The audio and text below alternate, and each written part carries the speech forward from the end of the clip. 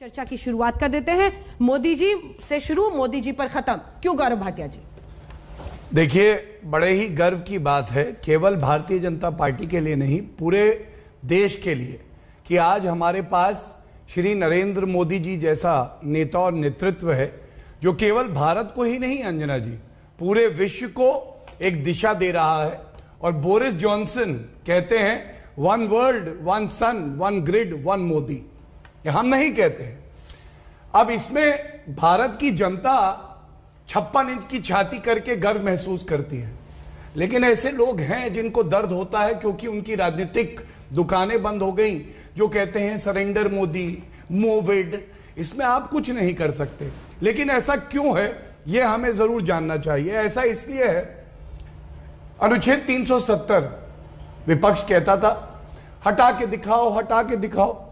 हटाया। अब कह रहे हैं अरे कैसे हटा दिया?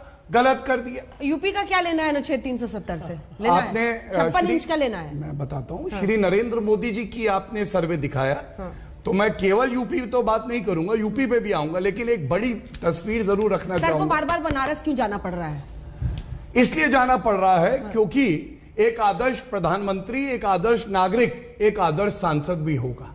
सात साल में तीस बार काशी गए। एक बार पूछिएगा जरा दो साल में रायबरेली सोनिया गांधी कितनी बार गई? ढाई साल में आजमगढ़ अखिलेश यादव कितनी बार गए? और ये तो गर्व की बात है कि कोविड के समय में भी काशी उनके दिल में थी रोम रोम में थी। ये तो एक तारीफ़ करने की बात है जो आप मुझसे कह रही हो वो क्यों जाना पड़ रहा है? अगर सांसद हैं तो क्या प्रधानमंत्री जी को नहीं जाना चुनाव चाहिए? के पहले बहुत फ्रीक्वेंट हो गया ना सर इसलिए पूछ रही हूँ। क्योंकि ऐसा होता है जो एसी के कमरे में बैठते हैं हाँ। और जो अपने बंगले से नहीं निकलते हैं ना, वो कभी नहीं बाहर जा पाते। और सुनिए बस अंत करूँगा।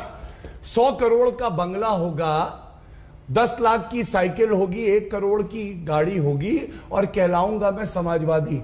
वो अपनी कॉन्स्टिट्युएंसी नहीं जा पाते यही दो, फ़र्क है। दोनों को अपना अपना कटाक्ष समझ में आ गया आपके साथ शुरुआत करते हैं। आ, अंजना जी। रायबरेली सोनिया गांधी जी कितनी बार गई? आ, अंजना जी अमेठी हाथ से निकल गया। नहीं एक एक एक सांसद भी होता है ना जो नेतृत्व तो होता है वो एक सांसद भी होता है उसका अपना एक क्षेत्र होता है। वहाँ पर वो ऐसा करिश्मा करते हैं, तब तो 26 और 32 फ़ीसदी जा रहा है सर उनके नाम पे। अंजना जी पहले तो मैं आपकी इस थ्योरी को सिरे से नकारता हूँ जो आप कह रहे हैं कि मोदी जी अगर राज्यों के चुनाव में पार्टिसिपेट करते हैं तो भारतीय जनता पार्टी की विजय होती है। अभी आपने बताया है। आप देखिए मध्य प्रदेश मोदी जी के नेतृत्व में हारे, छत्तीसगढ़ हारे, राजस्थान हारे, पंजाब हारे, दिल्ली हारे, बंगाल हारे उड़ीसा हारे तमिलनाडु हारे, केरला हारे। बड़े प्रांत भारतीय जनता पार्टी हार गई मोदी जी का करिश्मा नहीं था। हाँ इस बार प्रभाव रहेगा मोदी जी का। प्रभाव रहेगा क्योंकि ऑक्सफैम की रिपोर्ट बताती है कि महामारी की विभीषिका में सो धन्ना सेठों ने 13 लाख करोड़ रुपए कमा रही है और 12 करोड़ लोगों ने अपनी नौकरी से हाथ धो दिया।